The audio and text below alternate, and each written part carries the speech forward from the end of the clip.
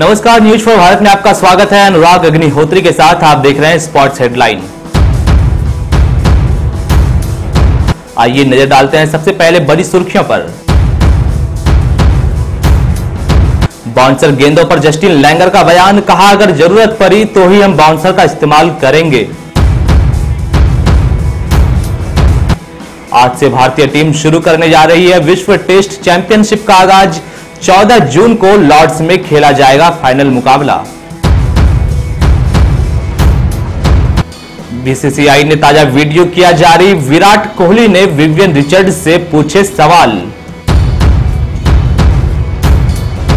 High voltage match में Pink Panthers Tamil Thalaivas पर पड़े भारी। टीम के स्टार खिलाड़ी रहे फ्लॉप। पीवी सिंधु का देखने को मिला रैकेट करंट। चीनी खिलाड़ी को 21-14, 21-14 से हराया। सबसे पहले खबरों की शुरुआत करेंगे एशियन से तो बाउंसर के वार पर अब ऑस्ट्रेलिया के कोच जस्टिन लैंगर सामने आए हैं। उन्होंने कहा है कि हम बाउंसर का जवाब बाउंसर से नहीं बल्कि टेस्ट मैच जीतने पर अपना पूरा ध्यान देंगे।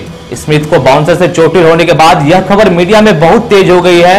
कि अब ऑस्ट्रेलियाई तेज गेंदबाज ईट का जवाब पत्थर से देगी। लेकिन कंगालू टीम के कोच ने साफ़ साफ़ कह दिया है कि अगर हमें टेस्ट मैच जीतने में बाउंसर मददगार होगी तो ही हम उस तरह की गेंदबाजी करेंगे, वरना नहीं। एक इशारों में उन्होंने इंग्लैंड को भी सचेत कर दिया है कि हर टीम के पास तेज और बाउंसर फेंकने वाले गेंदबाज होते हैं। गौरतलब है कि ऑस्ट्रेलिया एशेज में पैट कमिंस, हैजलवुड और मिचेल स्टार्क के साथ खेल रही है। तो देखना दिलचस्प होगा कि लीड्स टेस्ट में ऑस्ट्रेलिया के गेंदबाज किस तरह का रवैया अपनाते हैं।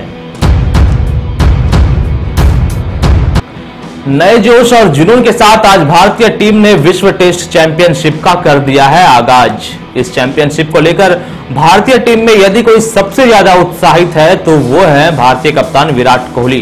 कोहली ने काफ़ी समय बताया है कि वह विश्व टेस्ट चैंपियनशिप को लेकर काफ़ी ज़्यादा उत्साहित हैं। आपको बता दें कि इस चैंपियनशिप की शुरुआत अगस्त से हो चुकी है, जो 14 जून 2021 तक चलेगी। नौ टीमें इस प्रतियोगिता का हिस्सा रहेगी, जिसे कुल मिलाकर बहत्तर टेस्ट मैच खेलने होंगे। भारतीय टीम टेस्ट चैंपियनशिप समाप्त होने से पहले तक 18 मैच खेलेगी, जिसमें सबसे ज़्यादा पाँच टेस्ट मैच उन्हें इंग्लैंड के खिलाफ खेलने हैं। तो देखना यह काफ़ी दिलचस्प होगा कि क्या भारतीय टीम लीग मैच क्वालिफाई करके जून 2021 में फाइनल खेलने लॉर्ड्स पहुँचती है। बीसीसीआई टीवी ने ताज़ा वीडियो जारी किया है, जिसमें किंग कोहली, विवियन रिचर्ड्स के इंटरव्यू लेते नज़र आ रहे हैं।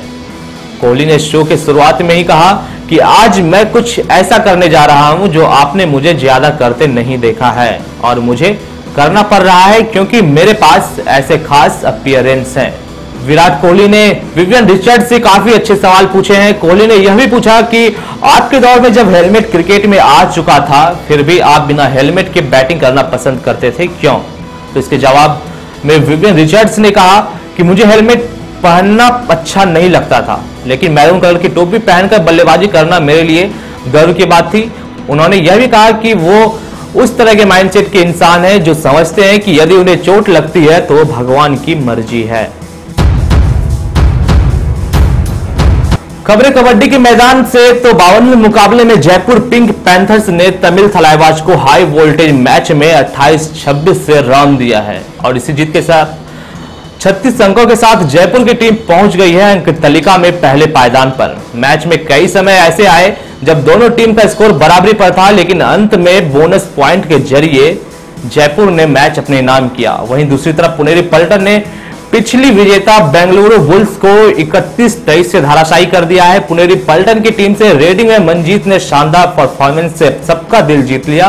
तो वहीं दूसरी तरफ़ बेंगलुरु के रोहित और पवन का फ्लॉप शो देखने को मिला। बैडमिंटन कोर्ट के स्टार भारतीय shuttler PV Sindhu W world championship के तीसरे दौर में पहुँच गई है। 43 मिनट तक चले मुकाबले में सिंधु ने चीन की खिलाड़ी को 21-14, 21-14 के बड़े अंतराल से धाराशाही कर दिया है। हालाँकि पहले सेट में पाँच पॉइंट तक दोनों खिलाड़ी बराबरी पर थी लेकिन उसके बाद सिंधु ने लगातार बढ़त बनाना जारी रखा। तो देश और दुनिया की तमाम खबरों से बने रहने के लिए न्यूज़ फॉर भारत को सब्सक्राइब करें।